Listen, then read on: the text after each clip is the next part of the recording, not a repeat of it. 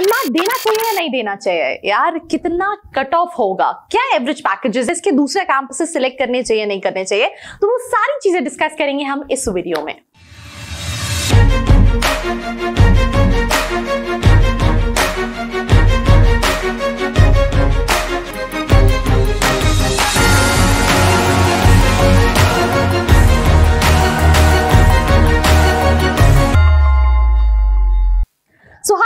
Hi, my name is Arshika and you're watching MBA with Arshika and in this video I'm going to talk about NMAT.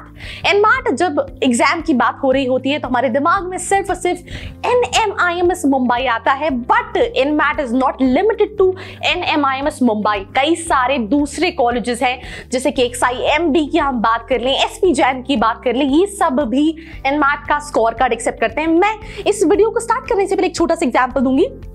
मेरी एक intern है right जिसका नाम है कादम्बरी खरे।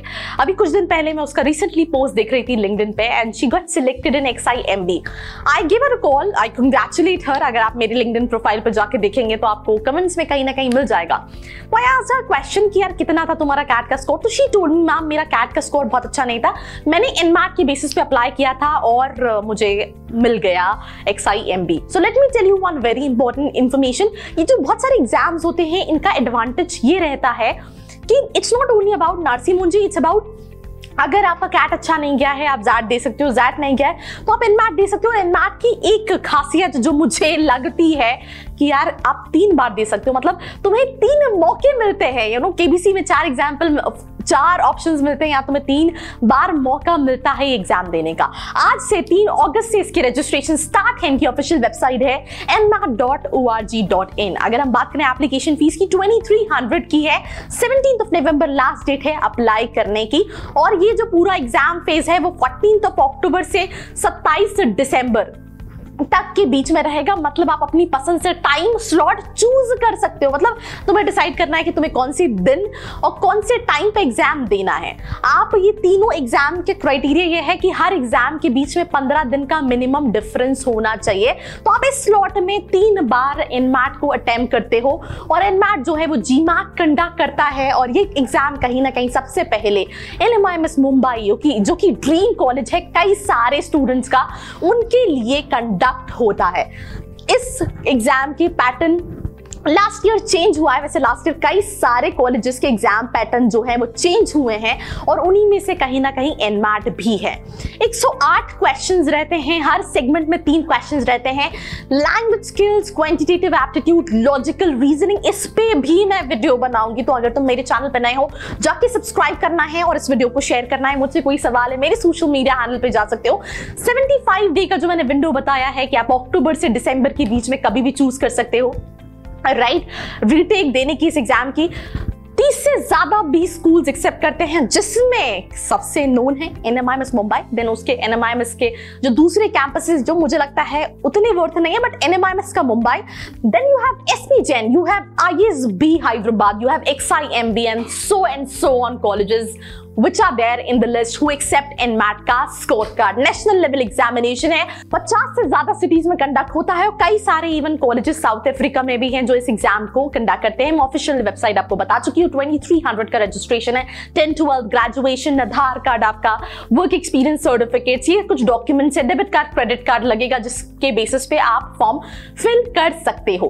अब अगर मैं कुछ चीज़ों की बात करूँ कि होता क्या है। जैसे फॉर एग्ज़ाम्पल सबसे पहले जो आप स्क्रीन पे देख पा रहे हैं लैंग्वेज स्किल्स में आपको वोकैबुलरी ग्रामर रीडिंग कॉम्प्रिहेंसेशन पता होना चाहिए। लॉजिकल रीजनिंग में arrangements numerical grid verbal reasoning analytical reasoning अगर हम क्वांटिटेटिव एप्टीट्यूड के यू नो बात करें तो उसके अंदर algebra arithmetic data interpretation geometry and mensuration modern maths के बारे में रहता है। साथ ही साथ अगर हम बात करें, आप हर सेगमेंट में कैसे प्रिपेयर कर सकते हो?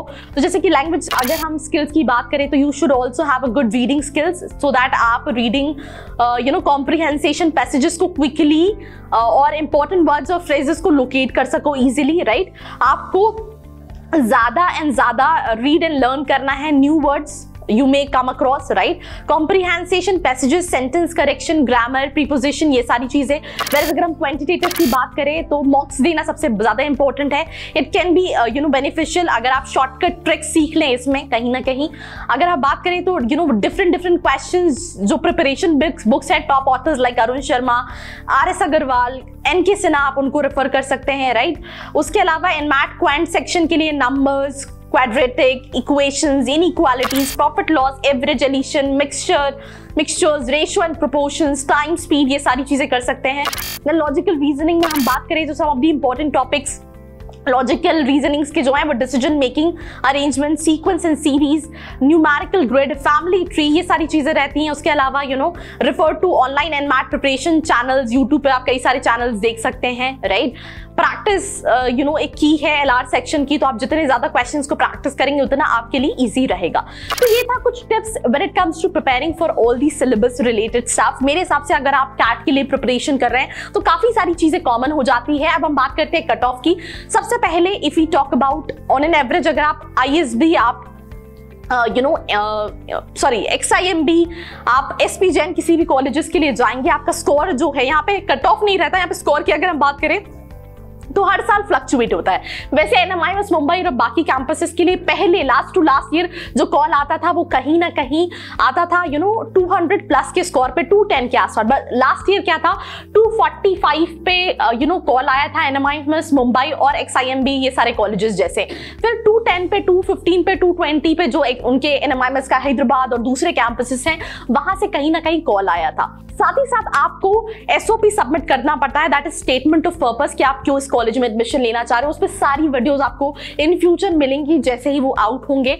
उसके अलावा you know prepare hard all the best and trust me on this you know एक ऐसा एग्ज़ाम है जिसको स्कोर करना आसान है। एंड इसको स्कोर करके आप कई सारे कॉलेजेस के अंदर जा सकते हैं। हर सेक्शन में थोड़ी सिक्स क्वेश्चन है। Total one zero eight question है। साथ ही साथ आप कोई भी सेक्शन कभी भी पहले बाद में दे सकते हो। ये ऑप्शन है आपके पास। And that's it I hope you like it like button, share it with your friends and for more such a video like this, keep watching our channel. I hope you like this video. For more such videos, keep watching our channel. And do not forget to like, share and subscribe.